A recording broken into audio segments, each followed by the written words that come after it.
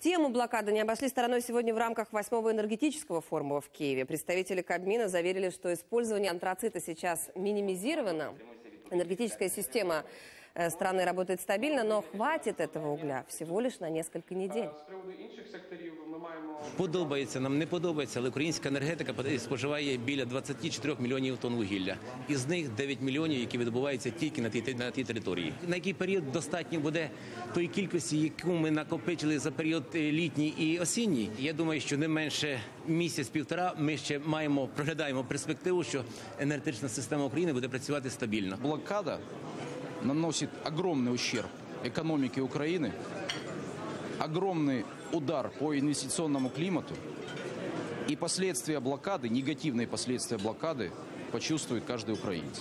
Если говорить о цифрах, то потеря 2 миллиардов долларов экспортной выручки, что имеет прямой эффект на торговый баланс. 2 миллиарда в год. Это более 30 миллиардов гривен налогов в год.